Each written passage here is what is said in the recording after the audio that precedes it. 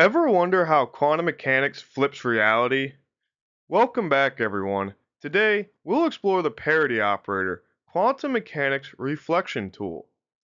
With all this talk about symmetry, you might wonder what do even and odd functions have in common with quantum physics? Discover how the parity operator transforms our understanding of symmetry with its eigenvalues of plus and minus 1. Cool. As we see here, a couple questions ago, we actually looked at the parity operator as a reflection. As you see with this picture here, we have something pointing up in the XYZ plane, and then it gets inverted over here. But this was also a composition of a mirror reflection and a rotation. So that's a pretty cool picture to tie together what we saw last time.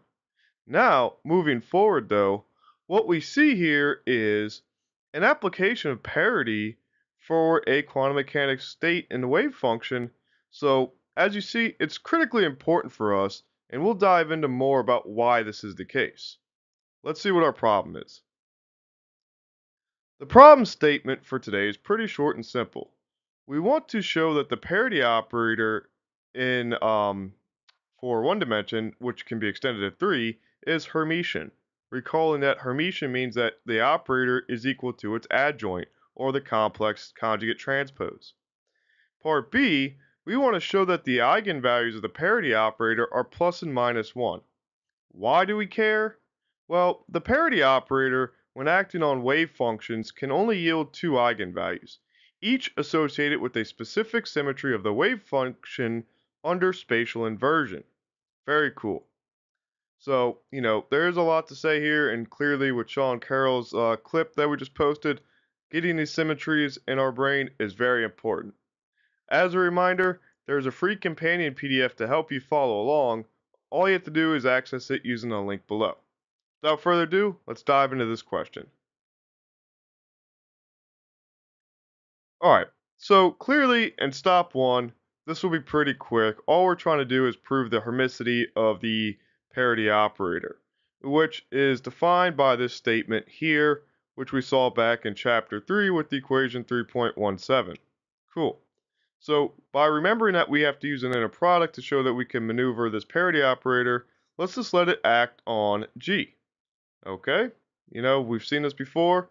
What we know about parity operator is it inverts the, uh, the argument here. So we have an inversion of the function.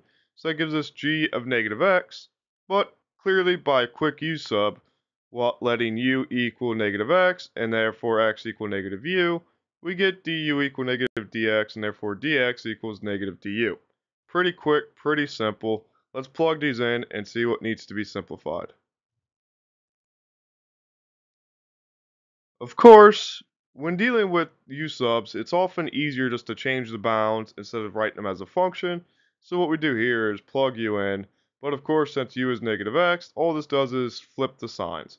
So we have a negative sign up here, a positive sign there. Variables are substituted in.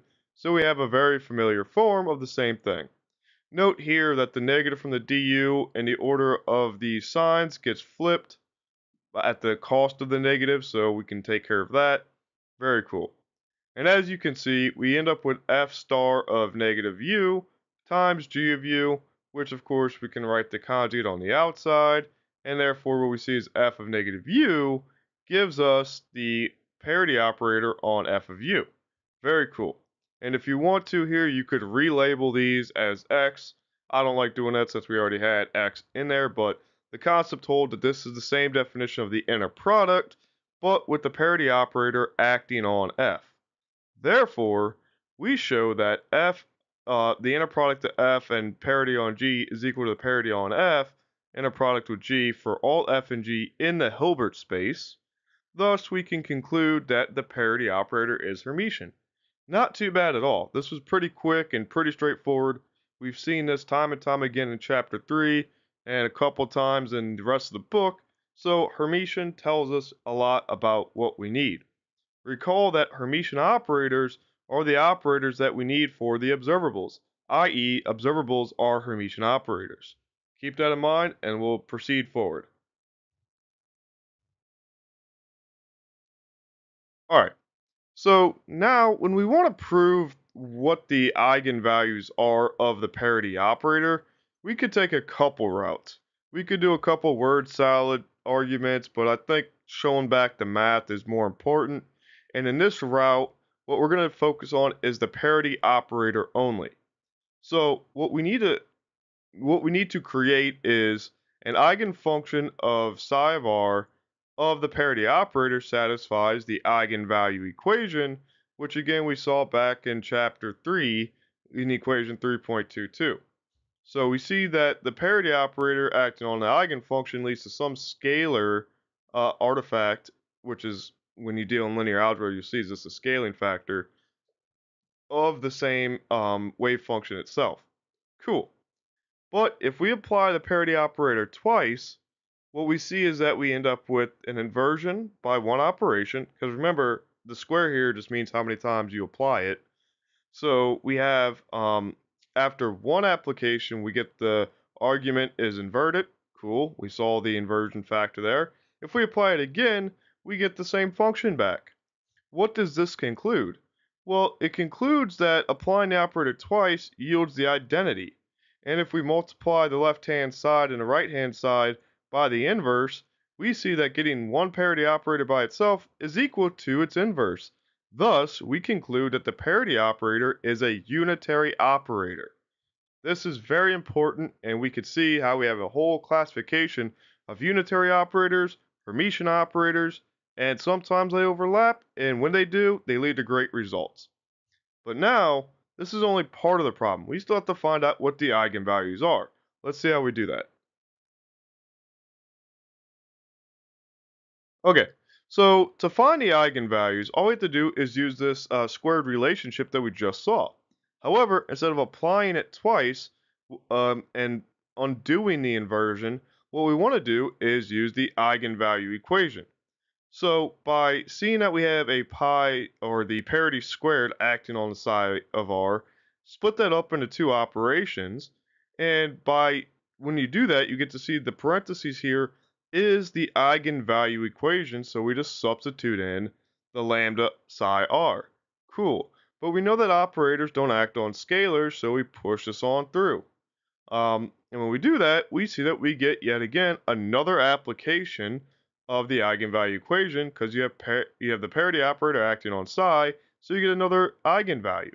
Thus, we have lambda squared whenever we have a parity squared, and we're fine with that because we showed that parity squared is equal to the identity. And in the case of scalars, this identity gets broken down into 1. Okay? So what we really end up with is lambda squared equals 1, which tells us that lambda needs to equal plus or minus 1, which was the goal in the first place. So, you know, not too bad in reality, and this technique, of course, is used in other applications. Think about the projection operator right? With this, we also get two very good results. We see here that from the eigenvalue equation again, if we plug these two lambdas in, we get two very good results. One says that the even functions take the lambda equal 1. Okay, well, inversion, right? If we're the same before and after inversion, we know we're even. If we're opposite after inversion, right, the opposite sign comes out, we know we're an odd function. And this is the even-odd symmetries of spatial inversion. Why, why, why do we like this? Well, think about all the wave functions about the origin. Or think about something like the harmonic oscillator, which was an even potential, right? Think about all the applications that can come from that, especially in three dimensions. Very cool. That being said, there is another route to take, so let's dive into that. Okay, so route two instead of dealing with parity as a specified case, let's deal with operators in general. Okay, and this will lay down a foundation where you can take from later. So if we consider the perspective of unitary operators U in general, for any vectors alpha and beta which live in the Hilbert space, because again, this is quantum mechanics, it's all Hilbert space. We see that by taking the inner product of these transformed vectors, right, we can have a remarkable result. Because we know that an operator is unitary, we could take the adjoint and put it over to the left-hand side. Let me get my pen out. Um, So we see that we put this on the side at the cost of the dagger. Okay, that we saw back in chapter 3. No big deal. What we do notice, however, is that u dagger i is equal, or u dagger u is equal to the identity matrix as a definition. That is awesome. And so since the identity is multiplying by the vector alpha, we just get alpha beta. And notice that this equation of u acting on alpha, u acting on beta gives us the inner product of alpha beta. This tells us that it preserves norms, which we talked about last time too. Because this is so valuable in quantum mechanics with the probability densities, we need this to occur, and these have a, a very high importance to us in this theory and then we can dive into the representations of SU2, SU3, and the whole ordeal there, which will be for another time. But very important that we see that unitary preserves norms, and this is why we study them. That being said, for this question, we see that the eigenvalue equation tells us that u acting on alpha gives us another lambda acting on alpha 2. So if we apply the same concept of the square operation in the parity case, but with the inner products, we see that we have u alpha, u alpha, which gives us lambda alpha, lambda alpha, and then we could take these scalars out. So we have, uh, for the left-hand side, get my pen back, we have this one is associated with complex conjugate, because again, on that side of the bracket, in the inner product, this was the conjugated side. This one goes here. So we see very much the case that we end up with a magnitude squared with the inner product. But also note that the left-hand side from right before it is equal to the inner product as well of just alpha alpha. So what we can say is that for alpha, uh, for the inner product of alpha, if it doesn't equal zero, these two sides cancel and we're left with 1 e or rather that lambda squared is equal to 1. So this tells us that the unit modulus of lambda has to be 1 and this could be any conjugate pair of numbers that lie on the complex unit circle. This is why we saw e to the i theta in the group theory representation, because it can be any of them so long as they're conjugate pairings. This, however, has several solutions to it, so we can't just rely on the definition of unitary for this problem. We also have to uh, use the uh, pairing with Hermitian operators, and let's see what we can do with that. So, you know, we had a whole chapter on what it meant to be a Hermitian operator, why they're important, etc. And let's just revisit that for a second. For a Hermitian operator, the eigenvalue equation is Q alpha equal lambda alpha. Nothing new there. However, we showed what the eigenvalues were back in chapter 3.31, and let's just take a look at how to do that. Again, back to the inner product, we see that we have alpha Q alpha, and this leads to the eigenvalue equation, so put the alpha, or put the lambda in there, then you can take the lambda out because it's a scalar. Cool. The inner product stays. However, this same inner product can be written with the definition of Hermitian, and the operator can be put on the left-hand side, and thus you get the lambda on the left-hand side of the bracket. But we know we could pull this out with the conjugation fact or factor on it, and what we see here is that both of these are the same inner products, so these two things have to be equal this inner product and this inner product have to be the same thing. They have to equal. And if they equal, what does this tell us? Well, again, assuming that lamb or excuse me, assuming that the inner product is not zero, right? Then we can say exclusively or explicitly, not exclusively, that lambda uh, conjugate is equal to lambda. This only works if lambda is real, right? Because remember, if I have um a complex number, uh, don't know. If I have a complex number of a to the i b, right? a plus bi, and I hit the conjugate on that, I have a minus bi, but the real part of a itself does not change. So if my conjugate equals my non-conjugate, then I know I'm real. So that's a very cool result. And with these two things put together, I compare the unity and the Hermitian conditions for the eigenvalues, and the only pair of numbers that actually satisfy that they're real and their conjugate pairings is lambda equal plus or minus 1 as the only available options. So once again, we show that the eigenvalues of the parity operator are plus or minus 1. That is amazing, and we can see why we need these, but also be aware that these things will just be added to a long list of things you need to know. So keep that running tally notebook with you, and we'll see you at the next one.